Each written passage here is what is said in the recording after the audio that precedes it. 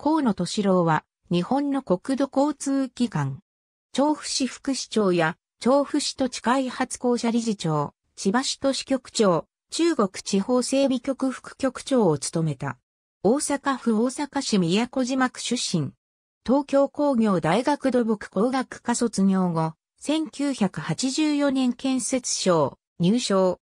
国土交通省都市地域整備局大都市圏整備課企画専門官、千葉県都市部副議官、国際協力事業団専門家、JR 西日本建設工事部次長等を経て、2007年から調布市副市長を務め、調布市土地開発公社理事長も兼務し、街づくりに当たった。2010年首都高速道路計画、環境部計画調整グループ総括マネージャ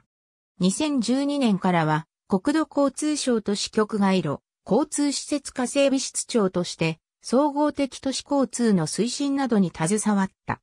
千葉市都市局長として、官民連携にあたり、民設民営制度の利用を進めた後、2016年に国土交通省に戻り、都市局都市安全課長着任。2017年中国地方整備局副局長。2018年国土交通省大臣官房付、大官。同年オリエンタルコンサルタンツ執行役員。アーバンインフラテクノロジー推進会議第27回技術研究発表会優秀賞受賞。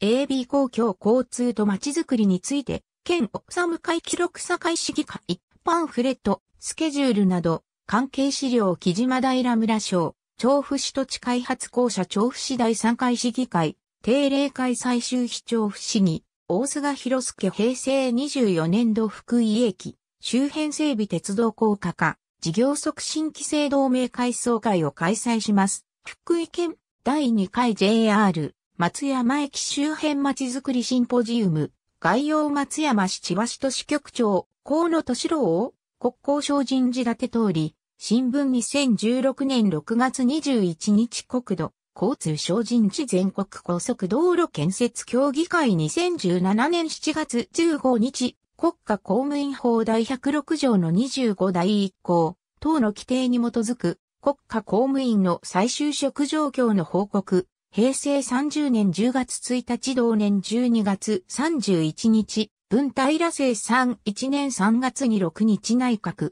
官房内閣人事局第27回技術、研究発表会、アーバンインフラテクノロジー推進会議。ありがとうございます。